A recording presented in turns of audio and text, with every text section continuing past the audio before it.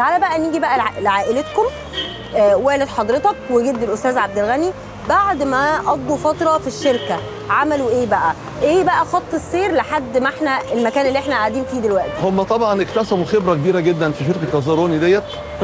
وعملوا علاقات كبيرة جدا مع شخصيات مهمة قوي جدا كده.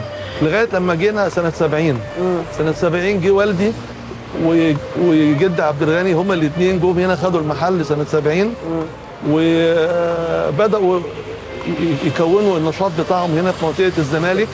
وطبعا كانت آه، اختيار موفق جدا منهم لأن المنطقة راقية جدا. بيسكنها طبعا آه، آه، ناس خبراء من نجوم الفن من. وزراء ومن ناس في سلك الدبلوماسي وفنانين وأدباء وصحفيين. فإحنا بدأنا هنا والدي وعمي رحمة الله عليهم. المحل هنا سنة 70 تمام. أنا عايزة حضرتك بس ترجع لي بالذاكرة لورا شوية. ل... ل...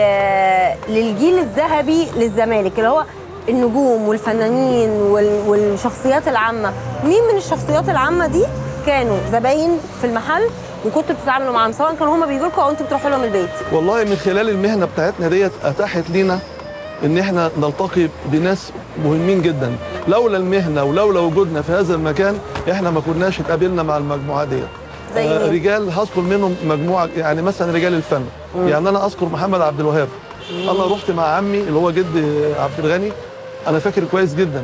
سنة يمكن 86 رحنا قابلنا عبد الوهاب في البيت. قابلنا نهله القدسي اللي هي مراته. آه،. عبد الوهاب طبعا ما كانش بيقابل حد. وكان انت عارف إن هو كان حريص جدا, جداً. آه. فأنا فاكر القعدة اللي أنا قعدتها أنا و- وعمي حاج عبد الغني قعدنا مع نهله القدسي وكنا رايحين علشان آه هي كانت محتاجة إن هي ترمم وتنظف بعض السجاد. ده بيت عبد الوهاب. آه برضو دخلنا بيت عبد الحليم حافظ. اتعاملنا مع أخته الكبيرة اسمها الحاجة عليا. ودي كانت المسؤولة عن إدارة شؤون البيت. وطبعا آه تعتبر علاقتها بعبد الحليم كانت علاقة قوية جدا جدا. فريدة من نوعها فعلا. آه ولغاية النهارده بقى بنتعامل مع بنتها. أوكي ولغاية النهارده بنروح بيت عبد الحليم ولينا طبعا ذكريات كبيرة جدا. آه اتعاملنا برضو مع عادل إمام. آه اتعاملنا مع عادل إمام وده كان من أكتر الزباين قريب جدا كان مننا وزوجته مدام هلا الشلقاني. آه. دي كانت صديقة لوالدي ولعمي واتنقلت الصداقة بعد كده لينا.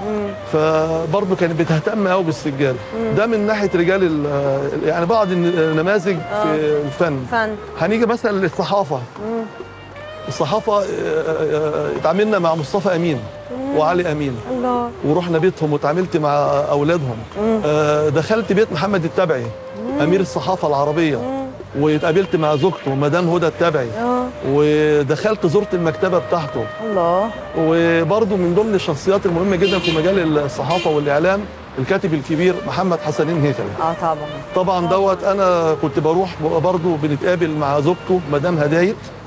وكنا برضه بنتفق على تصليح وترميم السجاد. آه، ده من رجال الصحافة. في برضه ال- ال- الأدباء. اتعاملت مع حسين عبد القدوس. الله الله عليك. ودخلت بيته واتعاملت مع زوجته مدام لولا.